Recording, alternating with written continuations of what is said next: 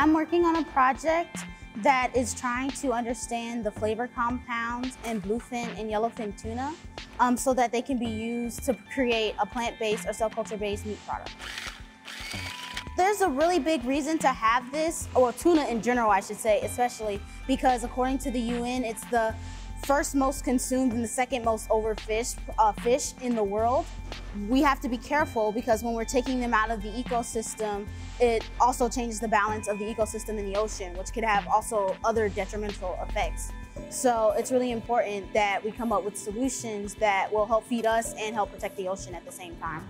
The company that I'm working with, uh, Finless Foods, they actually are trying to create both a plant-based and a cell culture-based seafood product. The data that I'm collecting today will help both. I'm trying to determine which compounds specifically are responsible for the recognition that we have when we like, oh, this is tuna. I feel like I'm helping solve a complex problem, especially for fish, uh, because for cell-based fish, it's very new.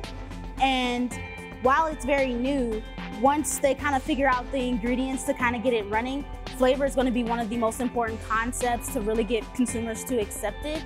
Uh, so I really am happy to be helping kind of, even if it's only in its early stages, helping to come up with a solution that will help ultimately create the best finished product. I think it's important to realize that while this is really kind of like this really groundbreaking research and it's kind of in its infancy, I do really think that at some point it can be a significant part of our diet.